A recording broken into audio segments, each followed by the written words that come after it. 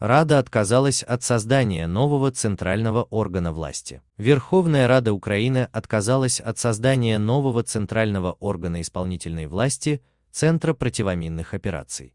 Народные депутаты одобрили во втором чтении соответствующий законопроект номер 2618. Об этом сообщает РБК Украина. Этот документ вносит изменения в закон о противоминной деятельности в Украине.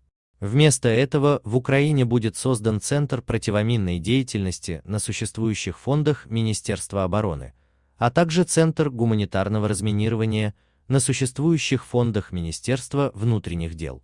Напомним, в феврале Комитет Верховной Рады по вопросам национальной безопасности рекомендовал парламенту принять законопроект номер 2618.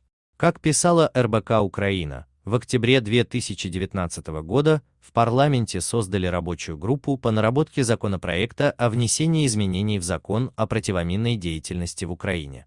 Следует отметить, что в апреле прошлого года парламент уже вносил изменения в этот закон, которыми предусматривалось совершенствование механизмов привлечения финансирования противоминной деятельности на Донбассе.